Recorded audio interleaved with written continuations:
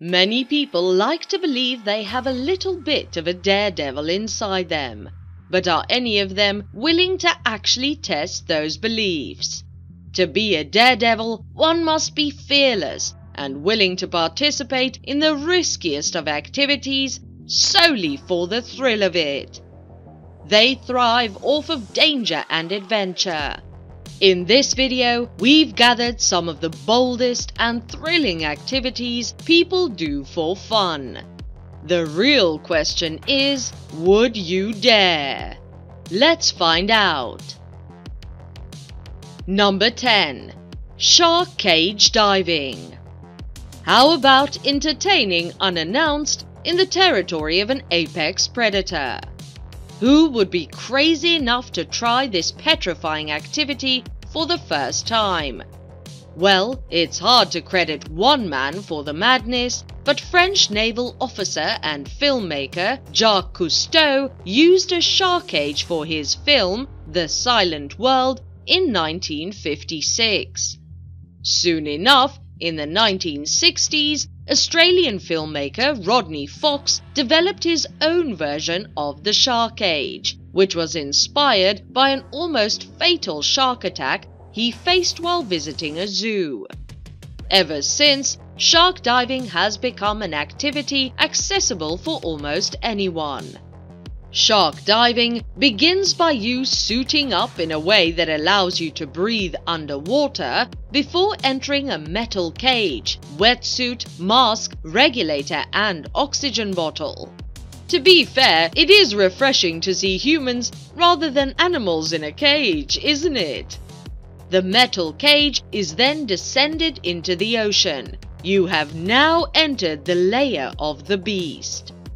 Soon enough, you'll be surrounded by sharks, often curious and sometimes aggressive.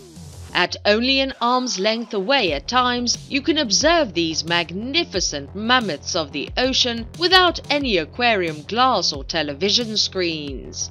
The possibility to take pictures underwater is as real as the sharks themselves, allowing you to back up your scary tales with amazing photographs. The blue and clear waters of Gansbaai, Cape Town and Durban in South Africa are some of the most popular destinations in the world to go shark diving. You could also encounter sharks in the warm waters of Cancun and Playa del Carmen in Mexico, as well as in the cold waters of South Australia. Number 9. Bungee Jumping Bungee jumping is pretty secure, with the assurance of a harness and a tried and tested elastic rope. That being said, one of the most common fears that people have is acrophobia, or the fear of heights. People could completely eradicate this fear by going bungee jumping. Even the toughest kid on the block will feel a bit lightheaded with fear as they make their 216 meters high to go bungee jumping from the Bloukrans Bridge in the Western Cape region of South Africa. For your information, the Bloukrans Bridge is the highest commercial natural bungee jump in the world, giving you an idea of how scary it can be. One thing's for sure, if you can do this jump, there are very few skyscrapers that will strike fear in you. Number 8. A ride in a roller coaster. Roller coasters may seem like a very modern type of entertainment, constantly getting bigger, faster and scarier thanks to advances in technology. But they actually date back to the mid-1800s. Gravity-propelled railways built to transport coal from up in the mountains down to the town in Pennsylvania, US, were hired out at weekends by fare-paying passengers riding purely for the fun of it. Today, theme parks are big business, but with queues occasionally as long as 8 hours for an average ride of under 2 minutes, not to mention reports of riders suffering strokes, brain deformation, and serious injury due to crashes, how come we put ourselves through it? What is it about roller coasters that some love so much? And is it an experience we tend to like less as we get older? Enjoying roller coasters is linked to sensation seeking, the tendency to enjoy varied, novel, and intense physical experiences. At first glance, it may seem to be down to the experience of speed. But the evidence for linking sensation seeking to speed is not compelling. Perhaps the draw of roller coasters is the enjoyment of the visceral sensation of fear itself, much like watching a horror movie. Number 7. Parachute Jumping Skydiving is fun, but it's not without its scary moments. However, if there's no challenge, then the fun wouldn't be as great. If you go out of your way to avoid anything that scares you, you'll likely have a pretty boring, non-fun existence. It's a paradox, but how much fun you have is tied to physical exertion, risk, and a challenge, all the elements of a skydive.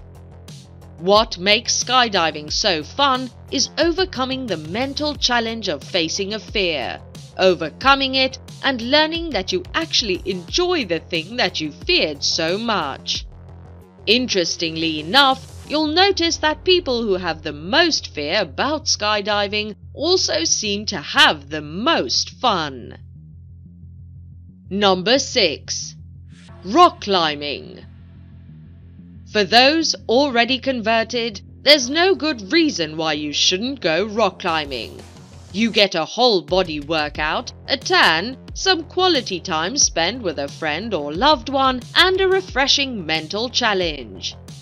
Climbing safely requires you to put your life in someone else's hands. There's nothing quite like tumbling 5 meters to the ground and potentially straining a shoulder to ruin a friendship or relationship forever. Even worse if it's because your belayer couldn't be asked to look out for your safety. Basically, this means that when you've scaled a wall and come down successfully, you would have effectively built a tank full of trust with whoever is belaying you. If you're looking to test out a potential spouse or business partner, rock climbing could serve as a good filter to see who's the real keeper.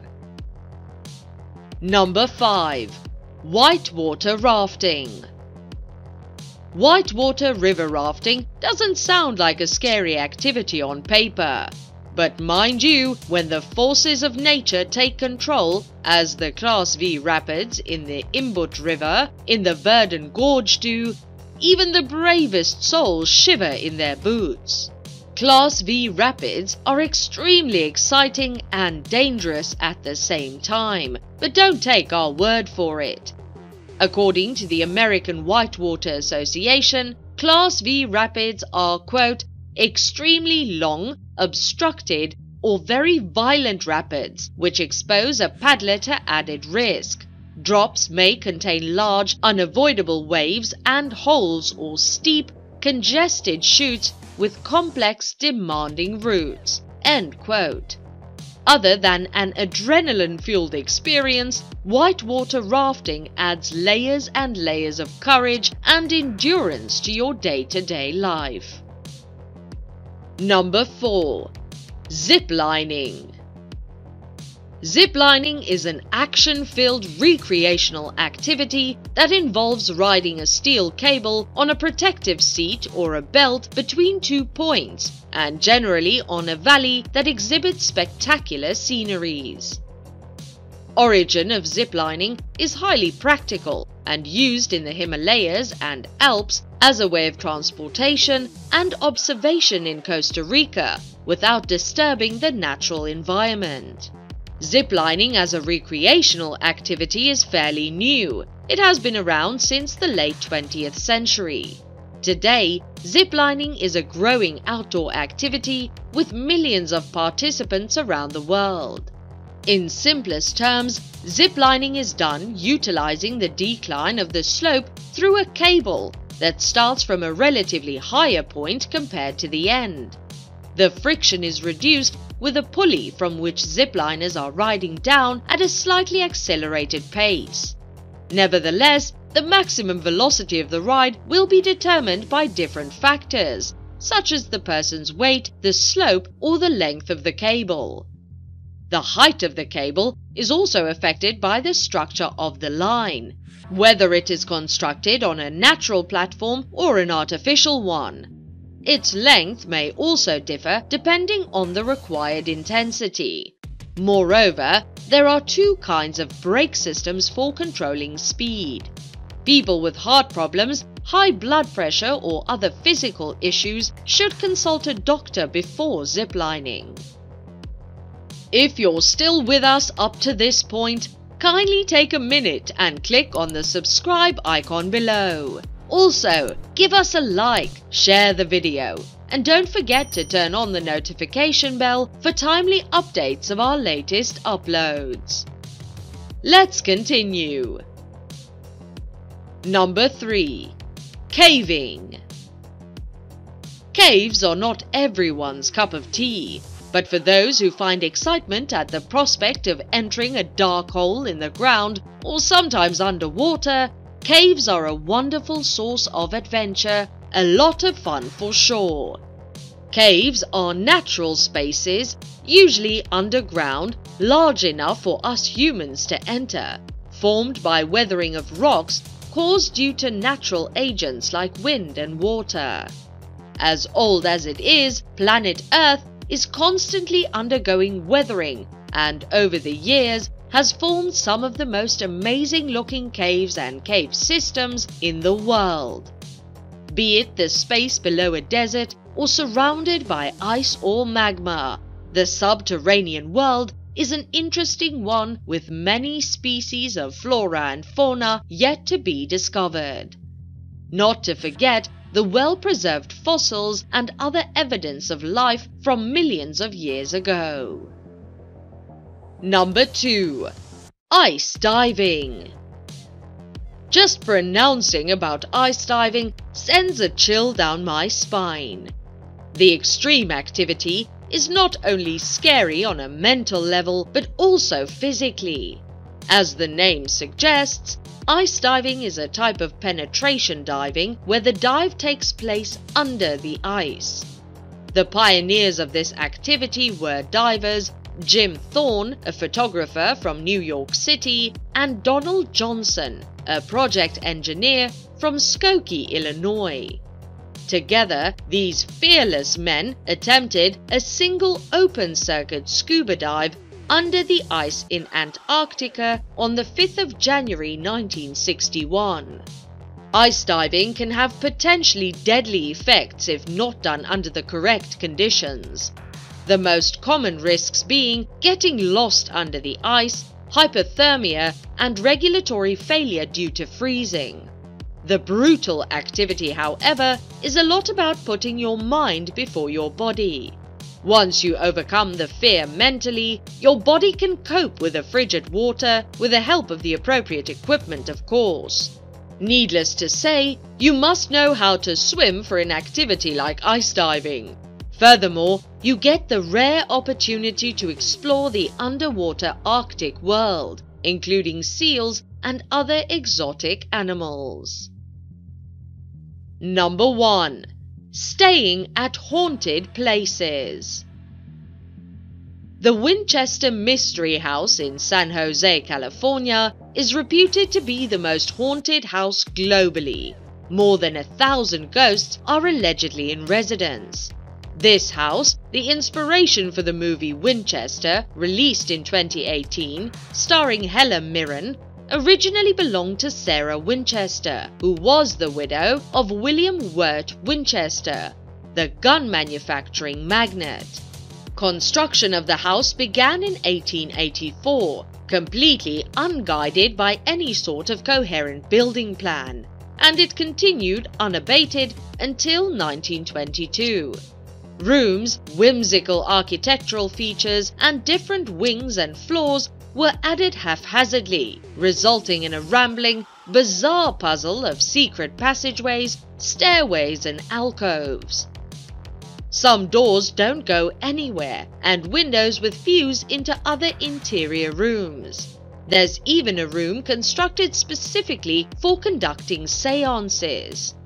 At its peak, the house had more than 500 rooms, more than 10,000 windows, and many dozens of fireplaces and stairways.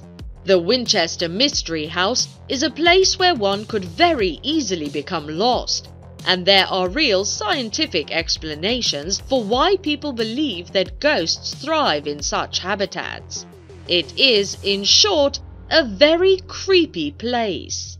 These places possess combinations of features that humans have evolved to regard with caution, either because they were associated with the presence of predators or natural hazards, or because they provide limited sensory information and restrict freedom of movement in a way that could impair our ability to deal with an emergent threat. Creepy, right? We thought so too. That's all on our video about the 10 scariest things people do for fun. If you enjoyed it, be sure to subscribe to our channel for more of our amazing content. Please give us a like, share the video, and don't forget to turn on the notification bell for timely updates of our latest uploads. We value your feedback. Feel free to share your thoughts with us in the comment section below.